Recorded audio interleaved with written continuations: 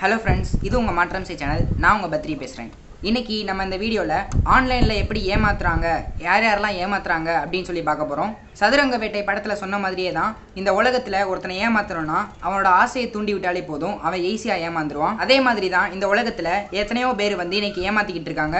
என்னடா சொல்கிற ஆசை காட்டி ஏமாத்துறாங்களா? அப்படின்னா என்னடா அப்படின்னு சொல்லி நீங்கள் கேட்பீங்க நீங்கள் வேலையை பார்க்காம அந்த கார் வாங்கலாம் இந்த ஃபோன் வாங்கலாம் ஈஸியாக செட்டில் ஆகலாம் நிறைய சம்பாதிக்கலாம் அப்படி இப்படின்னு சொல்லி அவங்களுடைய ஆசையை தூண்டி விடுவாங்க.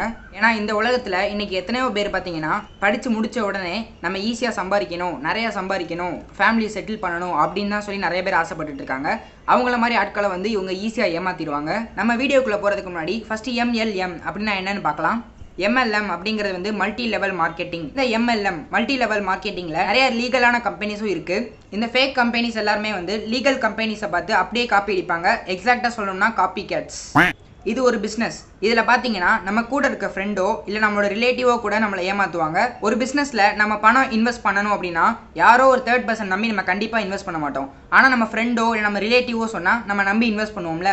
இதெல்லாம் எப்படி ஸ்டார்ட் ஆகும் அப்படின்னு சொல்லி நம்ம பார்க்க போகிறோம் நம்ம படித்து முடிச்சுட்டு ஏதோ ஒரு வேலை பார்த்துட்டு இருப்போம். அப்போ தான் வந்து இது ஸ்டார்ட் ஆகும். திடீர்னு பார்த்தீங்கன்னா ஒரு நாள் ஒரு ஃபோன் வரும். யாருன்னு பார்த்தா நான் தான் தீவிரவாதி. எனக்கு உடனே பத்து லட்சம் ட்ரான்ஸ்ஃபர் பண்ணு. அப்படிலாம் யாரும் ஃபோன் பண்ண மாட்டாங்க.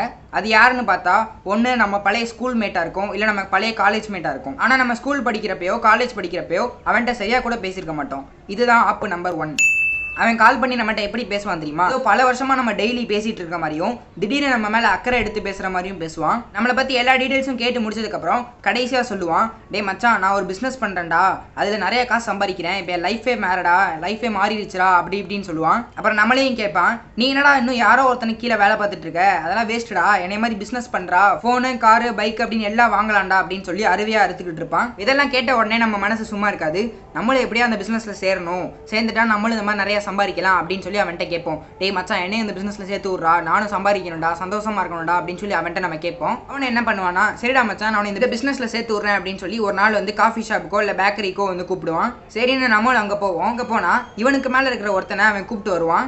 அவன் வந்த உடனே பார்த்தீங்கன்னா அவனை வந்து ராயலாக காமிக்கணும் ரிச்சாக காமிக்கணும் அப்படிங்கிறதுக்காண்டி அவனோட கார் கீயோ இல்லை அவனோட ஃபோனையோ எடுத்து டேபிள் மேலே வைப்பான். அவன் கையில் போட்டிருக்க பிரேஸ்லெட்டு செயின் எல்லாத்தையும் வெளியில் தெரியுற மாதிரி காமிப்பான். இதுதான் நமக்கு வைக்கிற ஆப் நம்பர் டூ இதெல்லாம் எதுக்காக பண்ணுறாங்கன்னா சரி நம்மளும் இந்த பிஸ்னஸில் சேர்ந்தா அந்த மாதிரி நிறைய வாங்கலாம்.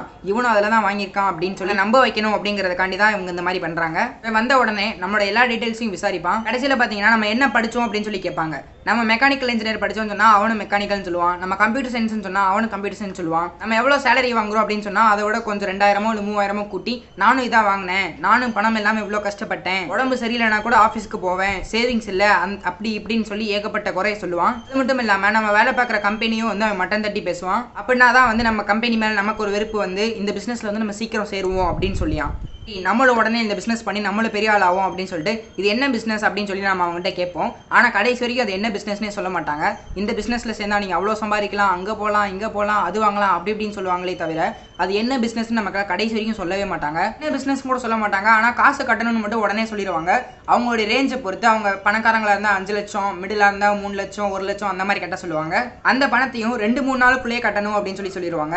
அப்புறம் இந்த பிஸ்னஸ் பற்றி அவங்க வெளியில் விசாரிச்சாங்கன்னா அவங்க மாட்டிக்கிடுவாங்கல்ல. அதனால ரெண்டு மூணு நாள் நாளுக்குள்ளேயே வந்து பணத்தை கட்டிடணும் அப்படின்னு சொல்லி சொல்லுவாங்க. இந்த பிஸ்னஸ் வேற ஒன்றுமே இல்லை. ஃபர்ஸ்ட் வந்து நம்ம இதில் வந்து அஞ்சு லட்சமோ இல்லை மூணு லட்சமோ லட்சமோ கட்டி சேரணும்.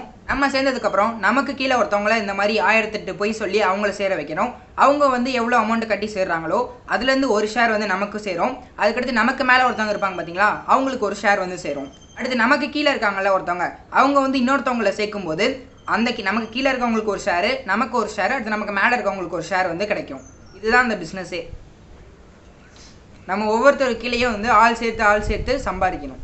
இந்த பிஸ்னஸில் நம்ம சேர்றதுக்கு முன்னாடி நம்மளை பயங் இந்த பிஸ்னஸில் நம்ம சேர்றதுக்கு முன்னாடி நம்மளை பயங்கரமாக பிரெயின் வாஷ் பண்ணியிருப்பாங்க. நம்மளை அந்த பிஸ்னஸில் சேர சொன்னால ஒருத்தன். அவன் பார்த்தீங்கன்னா நம்ம முன்னாடி மட்டும் ரிச்சாக ரொம்ப ஆடம்பரமாக காமிச்சிக்கிடுவான். பிராண்டட் ஃபோன் இருக்குது பிராண்டட் கார் இருக்குது அப்படி இப்படின்னு சொல்லி நம்ம முன்னாடி மட்டும் ரொம்ப ரிச்சாக காமிப்பான் அவனை. ஏதோ ஒரு ஆப்பை யூஸ் பண்ணி பின்னாடி பேக்ரவுண்டை மட்டும் மாற்றி நான் நியூயார்க்கில் இருக்கேன் சைனாவில் இருக்கேன் அப்படி இப்படின்னு சொல்லி நம்மகிட்ட பந்தா பண்ணுவாங்க. குதூகல நகரான பேங்காக்கில் பிரதி மாதம் இருபத்தி மூன்றாம் தேதி. குவைத்தில் இருபத்தி இரண்டாம் தேதி. அமெரிக்காவில் பிரதி மாதம் முப்பதாம் தேதி. குங்ஃபு கலையின் பிறப்பிடமான சைனாவில் அன்னாரது விஜயம் பிரதி மாதம் பன்னிரெண்டாம் தேதி. நம்மளை நம்பி சரி இந்த பிசினஸ்ல சேர்ந்துட்டா நம்ம வேர்ல்டு டூர்லாம் போகலாம் போல அப்படின்னு சொல்லி அந்த ஒரு ஆர்வத்திலேயே வந்து நம்ம சீக்கிரம் சேர பார்ப்போம். நம்ம அவனுக்கு கால் பண்ணால் கூட அவன் ஃபோன் அட்டன் பண்ண மாட்டான். மூணு தடவை நாலு தடவை கால் பண்ணாதான் அவன் அட்டன் பண்ணுவான். அந்த அளவுக்கு அவனை நம்ம வந்து பிஸியாக காமிச்சிக்கிருவான். சரி இவன் நல்ல பொசிஷனில் இருக்கான் போல அப்படின்னு சொல்லி நம்மளை நம்பிடுவோம். ஆனால் வந்து அப்படி நம்பக்கூடாது. அவன்கிட்ட போய் ஒரு ஆயிரம் ரூபாய் கேட்டோம்னா என்ன சொல்லுவான் தெரியுமா? நான் இப்போதான் வீட்டில் கொடுத்தேன் இப்போதான் பிஸ்னஸில் போட்டேன் இப்போதான் ஒரு ஆசிரமத்தில் டொனேட் பண்ணிட்டு வரேன் அப்படின்னு கூட சொல்லுவான். இந்த மாதிரி எத்தனையோ போய் சொல்லி நம்ம மண்டையை கழுவுவாங்க. இந்த பிஸ்னஸை பொறுத்தளவுக்கு ஃபஸ்ட்டு ஃபஸ்ட்டு போட்டிருப்பான் பார்த்தீங்களா அவன் மட்டும்தான் பணம் எடுக்க முடியும். ஏன்னா அவனுக்கு கீழே ஒரு இருபது பேர் முப்பது பேர் போட்டாங்கன்னா அந்த இருபதாவது ஆளுக்கோ இல்லை முப்பதாவது ஆளுக்கோ கண்டிப்பாக வந்து பணம் கிடைக்காது. ஏன்னா அப்போ வந்து இந்த பிஸ்னஸ் பற்றி எல்லாருக்குமே தெரிஞ்சிருக்கும். இது இந்த மாதிரி தான் அந்த பிஸ்னஸ் இது வந்து இல்லீகலானது அப்படின்னு சொல்லி அவன் யாரையாவது சேர்க்கணும் அப்படின்னு ட்ரை பண்ணாலும் யாரும் சேர மாட்டாங்க. அந்த இருபதாவது ஆளோ முப்பதாவது ஆளோ யாராவது ஒரு ஆளை சேர்த்து விட்டாதான் அவனுக்கு காசு கிடைக்கும். ஆனால் இதில் லீகலாக நடக்கிற பிஸ்னஸும் இருக்குது லீகலாக நடக்கிற பிஸ்னஸும் இருக்கா? சரி இல்லீகல் எது லீகல் எது அப்படின்னு சொல்லி நம்ம எப்படா கண்டுபிடிக்கிறது அப்படின்னு சொல்லி நீங்கள் கேட்பீங்க அதுக்கு ஒரு வழி இருக்குது யாராவது இந்த மாதிரி உங்களை வந்து இந்த மாதிரி பிஸ்னஸில் சேருங்க இவ்வளோ பணம் போடுங்க அப்படின்னு சொல்லி யாராவது அப்ரோச் பண்ணாங்கன்னா முதல் அந்த கம்பெனியோட நேம் என்னன்னு கேளுங்க. அதுக்கு நம்ம அந்த கம்பெனியில் என்ன ரோலாக ஒர்க் பண்ணணும் அப்படின்னு சொல்லி அதை கேளுங்க. இதெல்லாம் கேட்டதுக்கப்புறம் கூகுளில் எம்சிஏ அப்படின்னு ஒரு வெப்சைட் இருக்கும். எம்சிஏனா மினிஸ்ட்ரி ஆஃப் கார்ப்பரேட் அஃபேர்ஸ் அந்த வெப்சைட்டில் போய் அந்த கம்பெனி நேமை சர்ச் பண்ணி பார்த்தீங்கன்னா அதில் ஈஸியாகவே நம்ம கண்டுபிடிச்சிடலாம். அது லீகலான கம்பெனி கம்பெனியா இல்லை இல்லீகலான கம்பெனியா அப்படின்னு? உண்மையான பிஸ்னஸ் என்ன அப்படின்னு பார்த்தீங்கன்னா நம்ம கொடுக்குற ரூபாய்க்கு இப்போ நம்ம ஒரு லட்ச ரூபா கொடுத்தோம்னா இந்த ஒரு லட்ச ரூபா மதிப்புள்ள ப்ராடக்ட்ஸ் வந்து அவங்க கொடுப்பாங்க. அந்த ப்ராடக்ட்ஸ் வந்து நம்ம சேல் பண்ணணும். ஒன்று சொல்கிறேன் நம்ம பத்து ரூபாய் சம்பாதிச்சாலும் நம்ம சொந்தமாக சம்பாதிக்கணும். இப்படி மற்றவங்களை ஏமாற்றி சம்பாதிக்கிறதுக்கு நம்ம பிச்சை எடுக்கலாம். அதனால தயவு செஞ்சு எல்லாரும் கேர்ஃபுல்லாக இருங்க.